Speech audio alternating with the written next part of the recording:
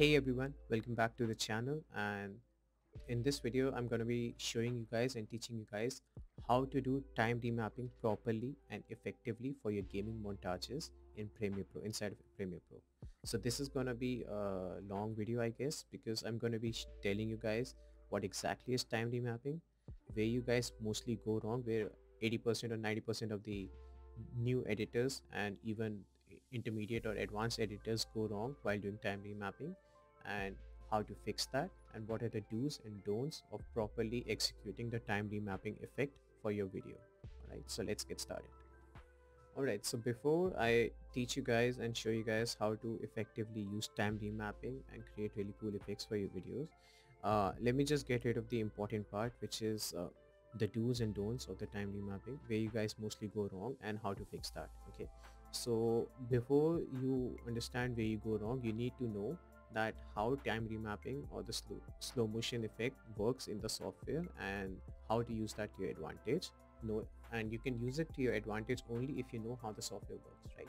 So when you create slow motion parts of the video what the software is actually doing and this is to not just for the inside the Premiere Pro's uh, within inbuilt feature uh, it is true for all the third-party plugins. They also work in a similar way right? So what what is happening is that when you're creating slow motion so the software uses uh, artificial intelligence and it tries to blend frames together like you know the forward frames together with the current frames so that it creates a really smooth slow motion effect.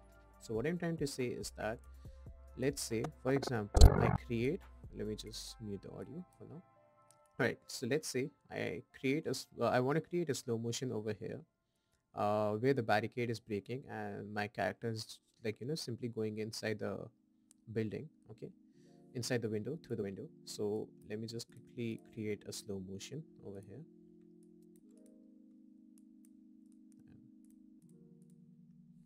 And now I select this part. I create a keyframe over here in the timeline and up till this part where the character is entering through the window okay. So now if I create a slow motion and reduce the speed down to let's say 10 percent I think 10 percent. So what is actually happening is that now my since my original clip was on 60 frames per second so technically if I reduce the speed down to 10 percent it would mean that right now my clip is going to be playing back at 6 frames per second. So without any optical flow this is how it actually looks because it is playing back at 6 frames per second for this part of the timeline, right? For this part of the video. So hence that is why the images are not smooth and as we all know that we need a minimum of 24 frames to make the image look smooth, right? So now if I select optical flow, go into speed and duration and select optical flow to create slow motion and I'll just simply press enter on my keyboard to render this part from in and out so what the software will do is, like I said before, it will try to blend the frames together, the future frames together with the current frames to try to show you smoother frames together. So something, this is how it will look. Oh, my bad, sorry about this. Okay, so this is how it will look, right? So this, the software is trying to, trying its best to blend the frames together to create like you know the forward frames together with the current frames to create a slow motion. But as you can see there is a lot of artifacts happening over here and that is because as you can see it is since it's blending the frames together hence the artifacts are happening and the frames have a lot of motion and uh, like you know destruction uh, like you know the slow motion part which is selected has a lot of motion and destruction so the frames are not going to look pretty smooth right and if I increase the speed a bit let's say from 10% to let's say I increase the speed up to 40% so 44% would mean around 24 frames per second right? So yeah for 60 frames per clip 40% would mean 24 frames per second. So now if I play it back it's a lot smoother than the than, than what you just saw. The slow motion is like the duration is less but yeah it still it still has artifacts because it's still like you know the it's still trying to blend the frames together as you can see. Hence that is why it has a lot of artifacts over here right? Let me just show it you show it to you guys in a full screen right? So still it has a lot of artifacts but still it was much better than what you saw earlier. So this is where most of you guys go wrong. You think that using this effect would be a magic tool like it's just not possible right so this is where most of the people are going wrong and hence that is why you need to understand exactly what the software is doing and how to use this to your advantage and now since you guys understand exactly what the software is doing and how to use this to, to your advantage and what would be the do's and don'ts of doing the time remapping properly and, and slow motion properly, right? So like I said, it becomes difficult for the software to create smooth slow motion where a lot of motion slash destruction is happening or shooting or stuff like that is happening within your gaming clip, right? So the best duration or the time frame I would say or to create slow motion would be like you know the parts where the motion which is happening is not much okay so like you know it is uh, the motion not much I would uh, instead of saying not much it would be like you know the motion is pretty uh, similar to each other. Like for example this repelling through the window this part. If I select this part let me just simply get rid of this. I'll just simply duplicate the layer again. And if I select slow motion over here from this part let's say okay and to this part until this part and I create a smooth slow motion let's say I reduce the speed down to 20% now and now what's gonna happen is that when the playback will happen since the frames are much more similar to each other now. So when the blending happens, the software will not overlap the clips together because the blending which is happening is much like you know the forward frames are much similar to the current frames current frames. Hence it becomes easier for the software to simply like you know blend the frames together and create a very smooth slow motion right? And similarly let's just take another example right? And now if I am to create a slow motion over here um, let's say this part over here when the shot is happening okay so this is like you know these are the very common mistakes which most of the people do uh, when creating slow motion and time remapping okay so let's say I want to show slow motion on this part over here and I reduce the speed down to let's say again 20%. Okay, the speed is down to 20%. I'll just quickly render this into out and see what happens. As you can see, there's a lot of uh, artifacts happening in this clip as well. That is because again, like I said, there's shooting, destruction, the movement is there as well, right? So hence it becomes a little difficult for the software to create smooth slow motion playback. You see, it looks pretty bizarre. Like not bizarre, I would say, but yeah, it doesn't look that clean com as compared to this part, which we just did right now.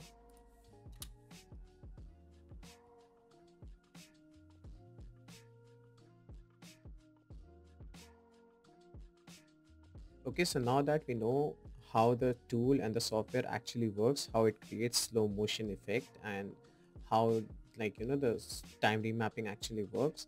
Now let's use this information to our advantage and let's create a really cool effect in the video now and let's sync it with the audio as well. Okay, so how I like to work, like I'll show you guys how I work and how I create my time remapping effect and you guys can work as as you want but this is how I actually work so what I do is that I'll just simply uh, create some markers on the video and the audio so that it becomes easier for me to do time remapping. Creating markers helps a lot, trust me guys, okay? And if you just simply want to create a marker on your audio or video, like just keep your video layer selected and press M on your keyboard to create a marker. And similarly you can press like you know select your audio layer and press M on your keyboard to create another like you know a marker over there. And if you create a marker by mistake just simply press Ctrl Z to get rid of that marker from there right? So that's how you can create markers. And these markers are very useful while creating slow motion okay? So as you guys can see I've already set up my clip and uh, my audio and video and I've created markers already so that I can you know increase my sp uh, work speed and work more effectively okay? So now what I'm gonna do is simply create a slow motion effect on the video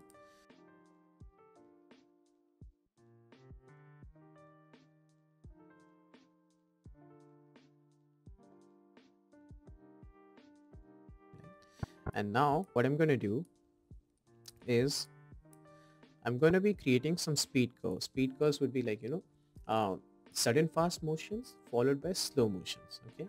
And just see which parts of the clip I'm using, uh, like, you know, the parts, the, the frames which I'm selecting for these sudden speed curves because the parts which you select for speed curves are very essential and it comes with time in practice. Sometimes it's a hit and trial method but yeah it comes with time in practice. Only then you can make use of this effect properly. So it will take some time to learn uh, learn this effect properly.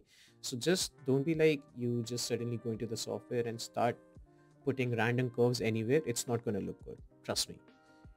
Okay? So now i'm going to be creating some speed curves over here on the second video layer okay so i'm going to be selecting this part of the video.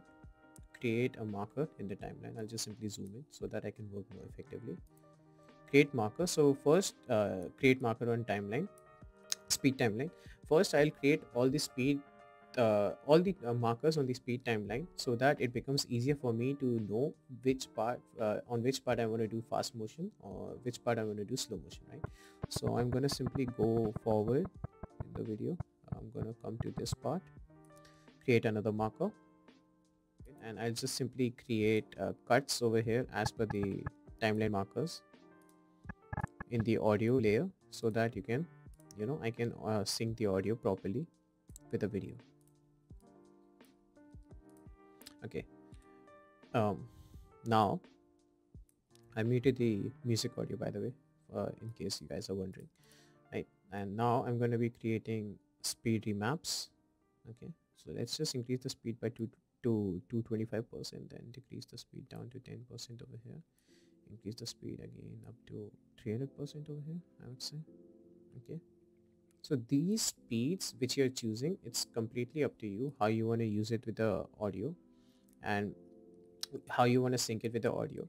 So this is one of the beats within like you know the sync is going to be happening. So what I'll do is and now once I've created a few speed curves over here so what I'll do is I'll simply press on this uh, keyframe over here and drag it to the right so that I create a little smooth slow motion like not smooth slow motion a smooth speed curve so that when the effect starts to happen it's a little smooth. Again I'll uh, drag the timeline over here and smoothen this out a bit and Similarly, I'll reduce the duration of this part a little bit up until mm, like like this something like this. Then I'll simply drag this keyframe again and reduce the speed of this clip until this part where my beat is happening. So I'll just create a cut over here so that you guys can see exactly where my beat is and it becomes a little easier for you guys to understand. So I'll reduce the speed of this clip to let's say 25% and I'll just simply bring this over here like this. So I'll just simply create a cut over here and create another cut over here. So I'll get rid of these above clips from here. And what I'll do is I simply create another cut over here where my key uh, this is ending. Uh, this keyframe is ending. And I'll duplicate this layer again and drag it up over here so that it becomes a smooth motion as I've created the time remapping over here. I'll simply select speed and duration, go to optical flow and yeah just like that I'm gonna be creating. Uh, I'm gonna render this from into out and now let's see what I've created. Oh wait let me just turn on the audio.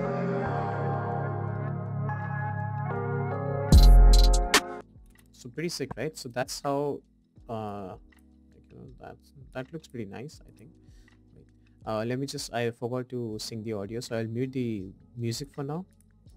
Go to the audio clip so now the keyframes like you know the parts where I created those uh, like I just showed you guys in the another in the previous tutorial that how you can sync the audio with the music uh, sorry with the video uh, on which you do your time remapping so I'll simply press the R button on my keyboard to bring up the rate stretch tool and come to this part of the audio decrease the speed like you know increase the speed of this audio then drag it over here increase the slow motion speed of this audio sec I'll just put this below.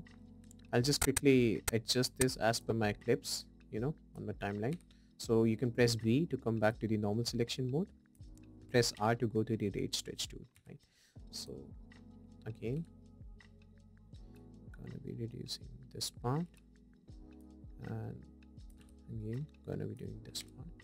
And I'm gonna be putting in some default transitions in between so that oh by the way if your transition is not in the middle just simply select the transition like that. Go to effect controls select center cut and it's gonna be coming it's gonna come to the middle like this. Right? So yeah.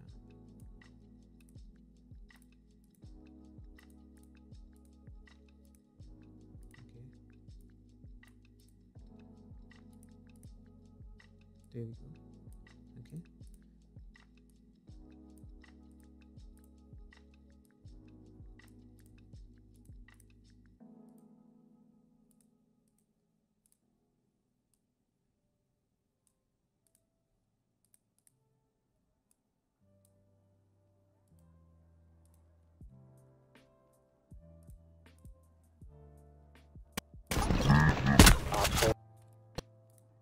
it's okay so i'm going to be reducing the speed of these clips uh, sorry the volume of these clips a bit the audio clips so that it doesn't hurt my ears a bit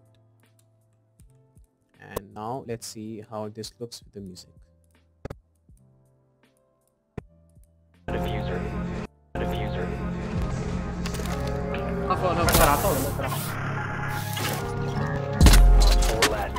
So yeah that's pretty much it for this tutorial and this is how you can create a cool time remapping effect uh, for your video. I hope you guys learned something new today and make sure to subscribe to me and follow me on my socials and join my discord as well because i will be releasing some uh, some presets for you guys to use in future. And uh, i'm going to be making much more tutorials going forward from now on uh, for both premiere pro and after effects. So stay tuned for them as well. And till then peace out. Thank you so much for watching the video. Bye bye everyone and have a great day